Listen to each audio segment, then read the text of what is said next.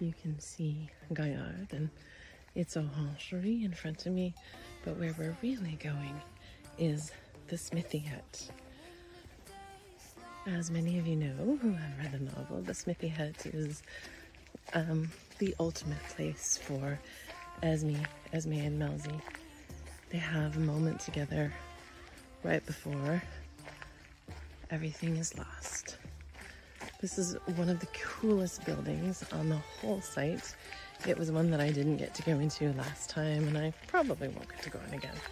But I loved it, and I couldn't resist using it as the smithy hut.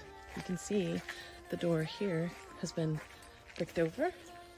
This is where I imagined them going in.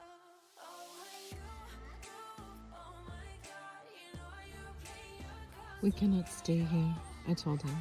I know. Such idleness is suicide. We did not have to debate where to take her. Melzi packed up the tools he needed and removed La Joconde from her perch. We walked out the front door of Clos Lucé, across the gardens, and straight to the smithy's shack at Gaillard, all without coming across another soul. The hot breeze of the forge would set the varnish faster. We would be safe there. I had not thought through what happened next.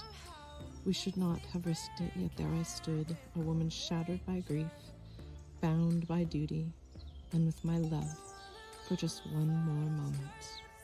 Melzi stepped across the threshold of the small shack at the edge of the Amasse River and pushed away the sheer black veil from my brow.